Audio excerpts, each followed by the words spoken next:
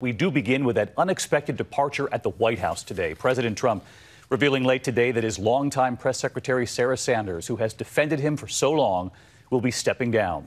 Her duties often went beyond what we see from a press secretary by the president's side just days ago at Buckingham Palace for dinner with the Queen.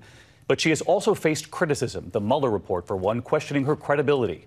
So why leave? Why now? ABC's chief White House correspondent Jonathan Karl leading us off. An unwavering defender of the president, beloved by his supporters, despised by his enemies, Sarah Sanders is moving on.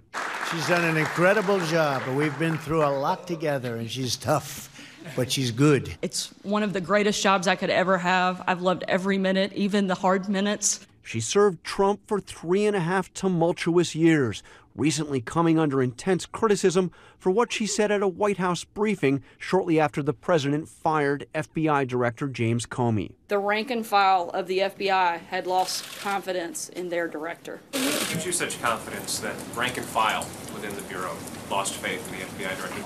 Look, we've heard from uh, countless members of the FBI that say very different things. Special counsel Robert Mueller singled out that comment in his final report directly raising questions about her credibility. Sanders told this office that her reference to hearing from countless members of the FBI was a slip of the tongue, Mueller wrote.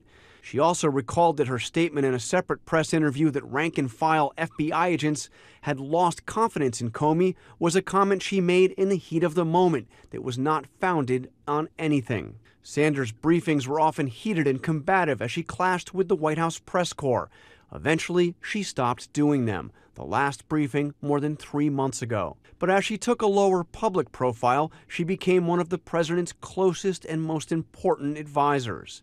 She is one of the few White House aides who traveled with the president on every single foreign trip he has made, attending his meetings with Kim Jong un, sitting next to Prince Charles at a dinner with the president just last week in London. And John Karl with us live tonight from the White House. And John, Sarah Sanders has three small children, as we know. She says she's leaving for personal reasons and moving back to Arkansas.